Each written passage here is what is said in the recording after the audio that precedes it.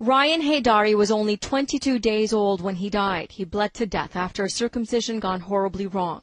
Overwhelmed by grief and attention, his parents released a statement. The loss of Ryan, our only child, has made us realize that we can't possess anything, even our hopes, our dreams. He was born on January 3rd, 2013, was circumcised uh, January 17th, and within several hours he'd lost 35 to 40 percent of his blood volume.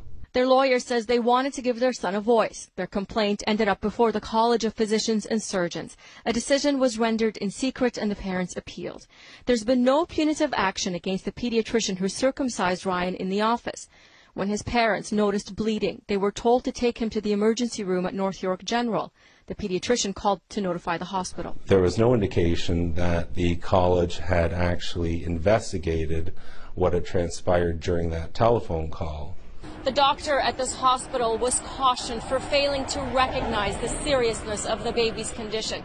Both doctors' identities are protected under legislation. Meanwhile, the Canadian Pediatric Society continues to recommend against routine circumcision.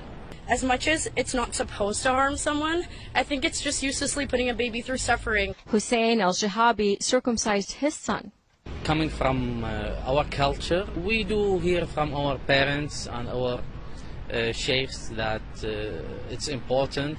As for Ryan's parents, they feel lost and no closer to understanding what led to their son's death. We don't feel like we got any proper answer as to why Ryan died from bleeding. We are so shocked that we will not have an answer to bring us some peace for our broken hearts, to prevent other cruel deaths like Ryan's, and to ensure that doctors take proper care of their patients. Lama Nicola, Global News.